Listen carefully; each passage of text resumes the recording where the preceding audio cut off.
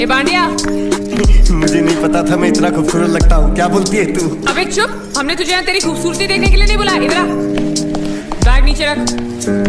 और जो बताया समझ गया ना? हाँ समझ गया। क्या समझा? बैग नीचे रखने का।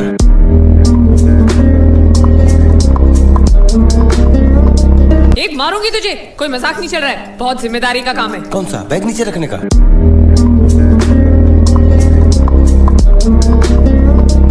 अरे अब तुम जाते हो या नहीं? ठीक है जाता हूँ। अरे बैग तो लेते जाओ। ओहो ये बैग भी इतनी भुलक्कड़ है जहाँ रखता हूँ वही बैठ जाती। चल सीधे!